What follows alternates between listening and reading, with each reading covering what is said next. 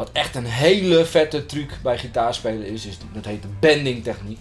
En dat is het letterlijk buigen van de snaar, zodat je geleidelijk van de ene toon naar de andere toon gaat. En dan laten we de, de, gitaar echt mee zingen en schreeuwen en janken. Eh, je kunt, je kunt er alles mee doen. You're ready to play the blues, man.